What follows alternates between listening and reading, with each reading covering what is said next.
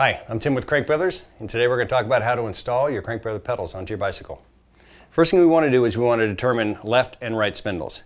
And the way you're going to do that is if you take a close look at the spindle itself, you'll see that on the left spindle, there's a groove on the spindle itself. Another way you can tell is by looking closely at the threads of the spindle, you'll see that they point up and to the left. On the right spindle, you'll notice it's flat and smooth on the spindle ledge, and also the spindle threads point up and to the right. We'll go ahead and get ready to install this one onto the right hand side.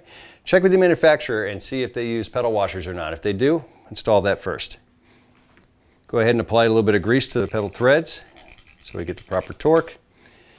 And then a little rule of thumb that we like to use here Crank Brothers is an over the top and towards the front technique as far as the wrench turning direction.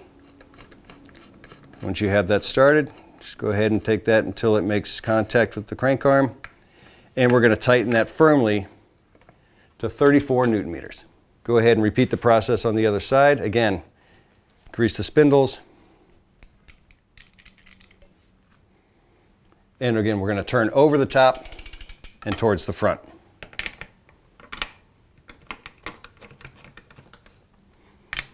Snug to 34 newton meters. And you're ready to ride.